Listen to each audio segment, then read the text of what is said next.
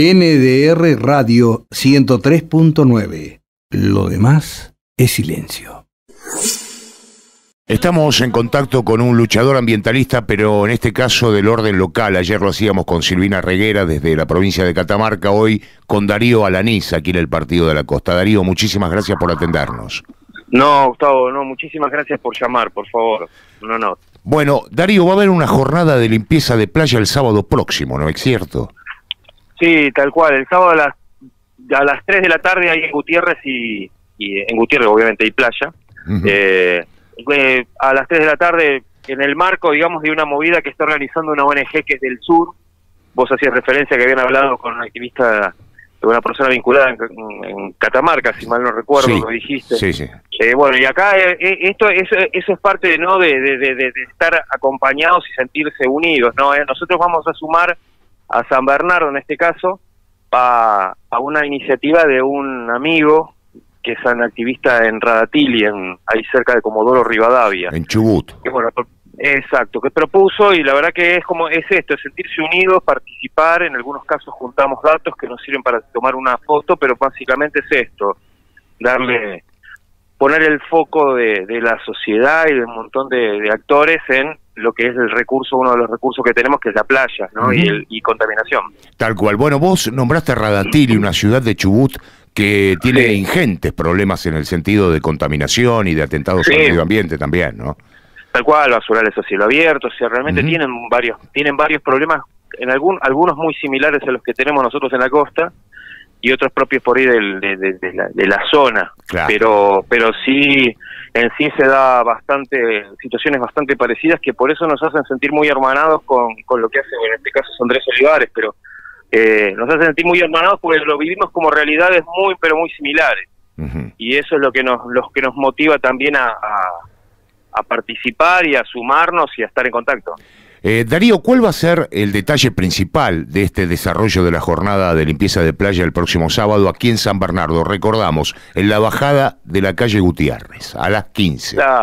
exacto. Vamos a, hay una profesora de yoga que entendemos que aparte del parte del sentido o parte de la digamos de, la falta de amor digamos por el lugar tiene que ver con la falta de revinculación con el lugar y la falta de apreciar no no se aprecia la playa no se aprecia el lugar sino como un patio trasero de nuestro tal vez del negocio de muchos. Entonces lo que vamos a hacer es una clase abierta de yoga, va a hacerla, mejor dicho, la va a dictar una, una profesora que ya hizo lo propio en la fiesta del medio ambiente, y después vamos a hacer una pequeña limpieza de playa, que obviamente que entendemos que no, no es la solución al problema, pero lo que nos permite es conocernos, aprender un poco, intercambiar información y bueno, y, vincularnos y sacar ideas, y, bueno, creo que básicamente es una usina generadora de eso, ¿no? de ideas, de vocación, y a la vez, bueno, hacemos esta, este favor, digamos, en ese momento a, a, esa playa que tanto queremos. Está bien que vos digas, Darío, que no alcanza. Seguramente es mucho más lo que puedan hacer que algunos que sí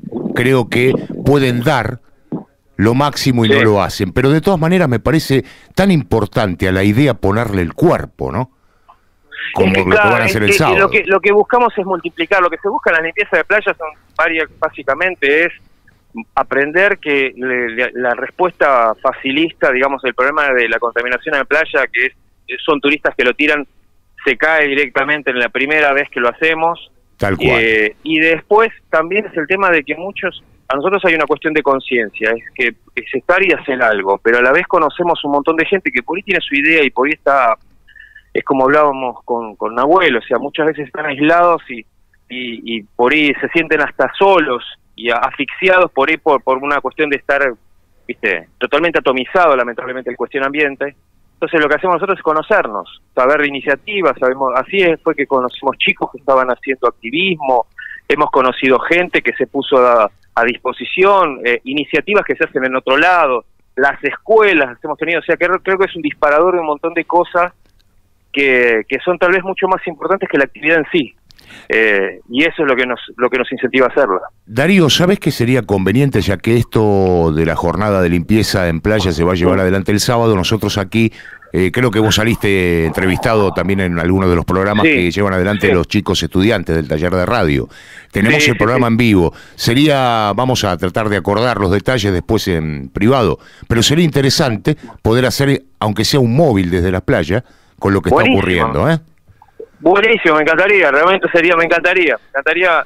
Y, y pues hay mucho hay mucho para compartir y creo que creo que estas cosas son las que esta vez esto por ejemplo es una de las cosas que más incentiva para seguir este tipo de conversaciones que estamos teniendo con vos y bueno y este tipo de ideas que la verdad que ayudan y muchísimo a todo lo que uno humildemente puede llegar a hacer acá y bueno en conjunción con todo el resto de la comunidad cambiando de la pirotecnia que tenemos eso te quería preguntar justamente mira eh, precisamente ah, no debe estar muy conforme no que no debes estar muy conforme como nosotros con todo esto, con el levantamiento de la prohibición.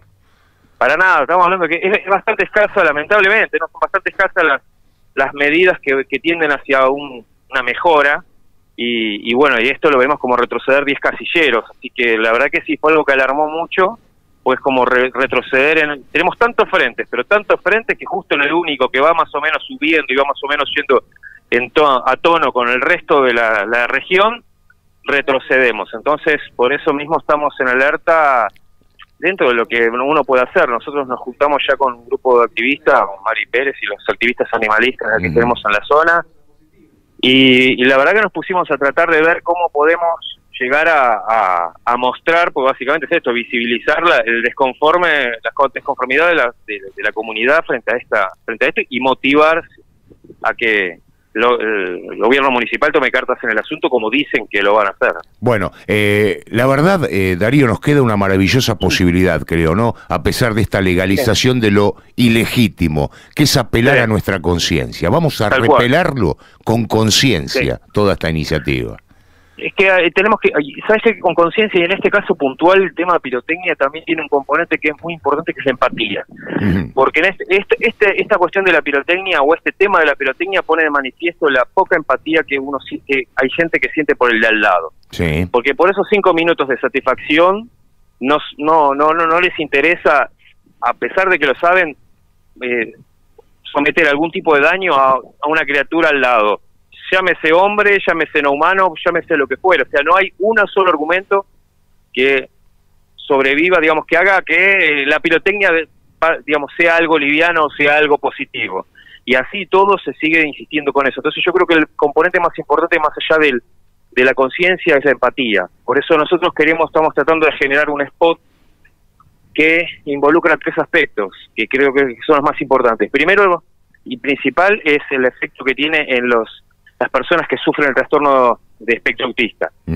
eh, después, segundo, lo que ocurre en criaturas no humanas, en seres no humanos, mascotas, lo quien fuera, eh, que le puede causar incluso la muerte. Y después estamos hablando del efecto ambiental, que es el reguero, esta la lluvia, esta que produce de metales pesados y un montón de cosas, que yo estoy de acuerdo que antes se hiciera, que antes se pasara por alto porque no se conocía, pero una vez que conocemos no podemos seguir sosteniendo esta práctica como algo eh, agradable y liviano. tal cual. Además es parte, a muchos metales y muy persistentes. Es parte del proceso evolutivo, ¿no? Como bien decías, quizá antes, bueno, está bien, se disfrutaba, no nos dábamos cuenta. Bueno, eh, el mundo ha evolucionado y nosotros tenemos que también acomodarnos un poco a eso. Exactamente, o sea, es, lógico y es en el proceso evolutivo del hombre tiene que ir aprendiendo y está bárbaro hacerlo y es lógico hacerlo y no podemos cuestionar las decisiones pasadas. Pero si ya la ciencia, los hechos nos están probando que estuvimos equivocados, no podemos ser tan, pero tantos unos de seguir manteniéndonos. Si no, el día de mañana va a aparecer una persona que va a decir, bueno, volvamos a tirar a los chicos al fuego, porque total en las ceremonias paganas se hacía, y, digamos, nadie puede caberle en la cabeza que es una ceremonia, sería una ceremonia lógica, eh, y nadie lo sostiene. Entonces, ¿por qué podemos, por qué tenemos que sostener esto?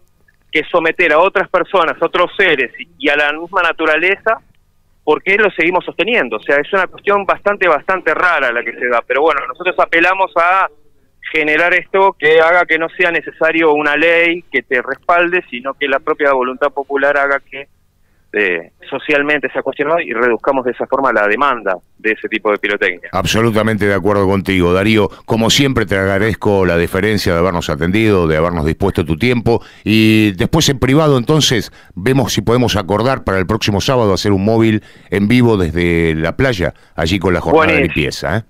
Buenísimo, un millón de gracias, en serio, Gustavo, vos, abuela, todos, gracias por estar siempre, en serio, gracias por dar la posibilidad de difundir esto, de charlar. Eh, sin filtro de este tipo de cosas y bueno y poder de esta forma construir algo un proceso comunitario que creo que es necesario para, para avanzar y evolucionar. Un abrazo y que tengas buen día Darío. Gracias. Abrazo inmenso que esté muy bien.